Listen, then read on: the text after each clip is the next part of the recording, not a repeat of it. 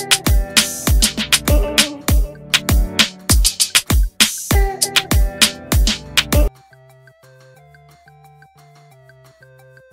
่ไพวงเผยภาพแอปน้องปีใหม่ พร้อมหน้าบ้านเตชนรงค์โผล่คอมเมนต์ถึงปู่ไพวงเผยภาพอบอุ่นแอปน้องปีใหม่ พร้อมหน้าพร้อมตาบ้านเตชนรงค์โผล่คอมเมนต์ถึง อิ่มอร่อยมาก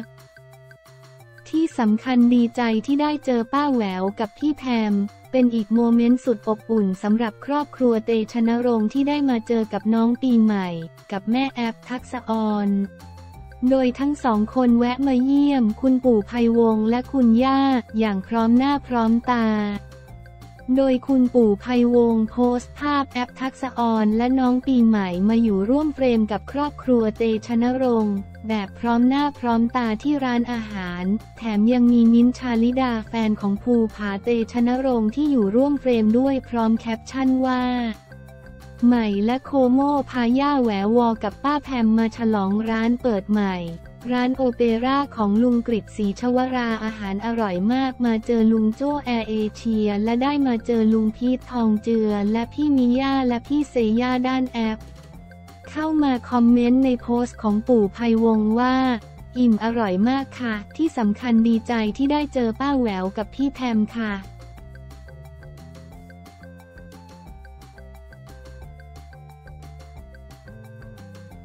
เดือดไม่พัก สั่งปลดมิสแกรนด์กำแพงเพชร 2023 ต้องคืนมงกุฎใน 7 วันเดือดไม่พัก สั่งปลดมิสแกรนด์กำแพงเพชร 2023 ต้องคืนสายสะพายและมงกุฎใน 7 วันเหตุไม่ปฏิบัติหน้าที่ตามที่กองประกวดกำหนด เมื่อเวลา 21นาฬิกา3นาทีวันที่ 29 เมษายน 2566 กองประกวดมิสแกรนด์กำแพงเพชร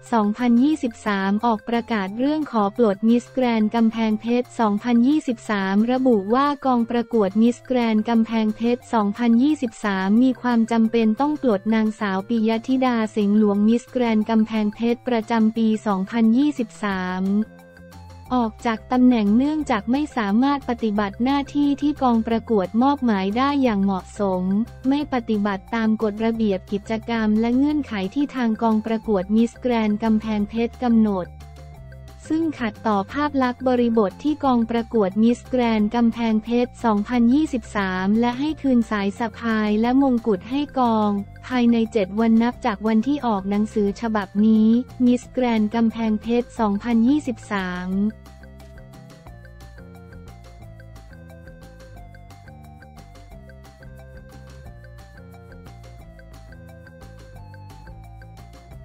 ทำความรู้จัก พัคอึนบิน จากบททนายออทิสติก สู่การรับรางวัล แดซัง ตีบทแตกกระจุยเก็บทุกรายละเอียดได้ครบทุกเม็ดทำความรู้จักพัคอึนบิน จากผู้รับบททนายออทิสติก สู่การรับรางวัล แดซัง รางวัลใหญ่สูงสุดของการแสดงสิ้นเสียงคำประกาศอย่างเป็นทางการ พัคอึนบิน เธอคือนักแสดงผู้ได้รับรางวัลแดซัง แดซัง จากซีรีส์ Extraordinary Attorney Woo ซึ่งเรียกได้ว่าเป็นรางวัลใหญ่ที่สุดของเวที Baeksang Arts Awards 2023 ในสาขาโทรทัศน์ เปรียบเสมือนเส้นชัยของเหล่านักแสดงทั่วเกาหลีใต้เลยก็ว่าได้ก็ว่าได้ ชื่อของฉันไม่ว่าจะอ่านตามตรง หรือกลับด้านก็ยังเป็นอูยองอูค่ะ กนกบวบนลินยายวาดดาว อูยองอูคำพูดชวนติดหูภาพจดจำหญิงสาวผู้เกิดมาพร้อมกับความผิดปกติทางสมองในภาวะออทิสติก สเปกตรัม ส่งผลให้การแสดงออกทางร่างกายทั้งการพูดท่าทางพฤติกรรมต่างๆ แน่นอนว่ามันส่งผลกระทบต่อการเข้าสังคมของเธอ ที่ใครต่างก็มองว่าเป็นตัวตลก เพียงเพราะเธอไม่เหมือนคนอื่น แต่มันก็ยังมอบสิ่งที่พิเศษให้เธอมีแต่คนอื่นไม่มี นั่นคือการได้เป็นอัจฉริยะเหนือกว่าคนทั่วไป ซึ่งมี IQ สูง และกลายเป็นทนายความออทิสแต่คนแรกของเกาหลีใต้ ซึ่งถูกถ่ายทอดผ่านพักอื่นบินนักแสดงสาวมากความสามารถที่สั่งสมประสบการณ์ด้านงานแสดงมาตั้งแต่วัยเด็กผ่านหน้าผ่านตาให้เห็นในซีรีส์มานับครั้งไม่ถ้วน แน่นอนว่าในซีรีส์เรื่องดังกล่าว เธอต้องใช้ความพยายามและความตั้งใจเป็นอย่างมาก เพื่อที่จะเข้าถึงบทบาทสุดท้าทาย จนในที่สุดแสงสปอตไลท์ส่องไปที่เธอ อย่างไม่มีข้อกังขาสำหรับพักอึนจินเกิดวันที่ 4กันยายน 2535 ที่โซลประเทศเกาหลีใต้ จบการศึกษาจากมหาวิทยาลัยซอกังสาขาจิตวิทยาและการสื่อสารด้วยสื่อ เธอไม่ใช่คนหน้าใหม่ของวงการภาพยนตร์หรือซีรีส์เกาหลี เพราะได้ทำงานในวงการบันเทิงตั้งแต่ยังเป็นเด็กๆ และรับบทในซีรีส์โทรทัศน์หลายต่อหลายเรื่องในฐานะดารานำเด็กหรือเป็นตัวละครหลักๆ ในฉบับอายุน้อย อย่างไรก็ตามนักแสดงที่โลดแล่นอยู่ในวงการมีผลงานซีรีส์ให้พิสูจน์ฝีมือมานับไม่ถ้วนตั้งแต่เด็กจนโต ใครจะรู้ล่ะว่า ก่อนที่เธอจะมาเป็นนักแสดงจิ๋วในตอนนั้น พักอื่นบินเคยเป็นนางแบบโฆษณาเด็กมาก่อนเมื่อปี 1996 ซึ่งตอนนั้นอายุเพียงสี่ขวบเองเท่านั้น โดยบทนำบทแรกของเธอก็คือในงานโรแมนต์ข้ามเวลาโอเปอเรชั่น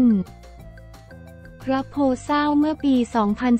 2012 แต่หลังจากนั้นเธอก็กลับไปรับบทสมทบในงานอีกหลายเรื่อง จนได้เล่นเป็นหนึ่งในตัวละครวัยรุ่นของซีรีส์ที่ว่าด้วยกลุ่มวัยรุ่นอายุ 20 ต้นต้นเรื่อง Hello My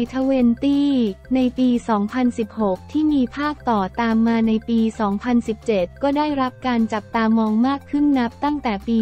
2017 เป็นต้นมาพักอื่นบินได้บทนำอย่างต่อเนื่อง ไม่ว่าจะเป็นจากงานอาชญากรรมกฎหมายจัด vs จัด 2017 ตามด้วยงานระทึกขวัญ The Ghost Detective 2018 แต่ก็ยังเรียกว่าเป็นงานที่สร้างชื่อให้เธอได้ไม่เต็มปาก จนกระทั่งซีรีส์ที่เธอเล่นได้รับความสำเร็จเพิ่มขึ้นเรื่อยๆ เริ่มจาก Hot Stove League งานดราม่าในโลกกีฬาที่ออกอากาศในปี 2019 ถึง 2020 ซึ่งเป็นซีรีส์เรตติ้งสูงสุดของพัคอึนบิน ที่ทำได้มากกว่า 20%ทั้งๆทที่ออกสตาร์ทด้วยเรตติ้งแค่ 3%ก่อนจะไปคว้ารางวัลงานดราม่ายอดเยี่ยมมาครอง และเข้าชิงอีกหลายรางวัลในงานประกาศรางวัล The 56th Baeksang Arts Awards ปี 2020 เธอรับบทมือไวโอลินในซีรีส์เพลง Romance Do You Like Brahms ซึ่งทำให้ได้รับรางวัลนักแสดงหญิงยอดเยี่ยมของงาน SBS Drama Award 2020 2020 SBS Drama Award จากเรื่อง The King Affection แต่กว่าจะได้ลิ้มรสความสำเร็จอย่างเต็มที่ กลายเป็นที่พูดถึงมากขึ้นไปอีกทั้งในประเทศและต่างประเทศนั้น ก็เมื่อรับบทในงานดราม่าโรแมนต์ย้อนยุค The King Affection ในปี 2021 จากการสวมบทบาทเป็นองค์รัชทายาทบทเจ้าหญิงที่ต้องปลอมแปลงตัวเป็นชายในเรื่อง ซึ่งถือว่าเป็นอีกงานที่แจ้งเกิดเธอเป็นนักแสดงหญิงหัวแถวเต็มตัว ไม่เพียงเท่านั้น ยังได้รับเข้าชิงรางวัลนักแสดงยอดเยี่ยมจากหลายๆ เวทีทั้งจากงาน KBS Drama Awards 2021 และเข้าชิงดารานำหญิงยอดเยี่ยมในงาน The 58 TH Back สัง Art Award อีกด้วยจนมาปีในปี 2022 เรียกว่าเป็นโอกาสทองเปิดความท้าทายใหม่ๆ กับการได้โชว์ความสามารถด้านการแสดงให้เห็นไปอีกขั้น ตีบทแตกกระจุยเก็บทุกรายละเอียดได้ครบทุกเม็ด จนแฟนซีรีส์ถึงกับเอ่ยปากชมไปตามตามกันสำหรับปรากฏการณ์อูยองอู ส่งให้พักอื่นบิน คว้ารางวัลแดซังเกียรติยศ อันยิ่งใหญ่ในชีวิตนักแสดงในวัย 30 ปีสำเร็จ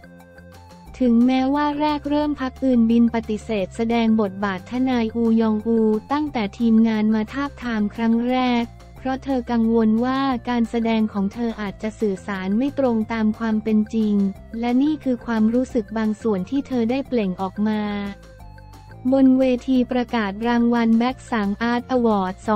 2023 ว่าไม่คาดคิดจะมีโอกาสได้รางวัลอันทรงเกียรติรวมถึงส่งต่อแรงบันดาลใจผ่านตัวตนของอูยองอูอีกด้วย ตอนเด็กๆฉันเคยคิดว่าคงจะดีถ้าฉันไม่ล้มเลิกความฝัน ในการเป็นนักแสดงแล้วกลายเป็นผู้ใหญ่ที่รับรางวัลแดซังในสักวัน ขอบคุณที่ทำให้ความฝันนั้นเป็นจริงในวันนี้ค่ะ ฉันหวังว่าการพยายามทำความเข้าใจอูยองอู จะเป็นประสบการณ์ที่ดี ให้ได้เรียนรู้เกี่ยวกับออทิสติกสเปกตรัม และหวังว่ามันจะกลายเป็นประโยชน์ได้ พอๆกับที่ทุกคนต่างมอบความสนใจและคำพูดดีๆ มาให้มากมาย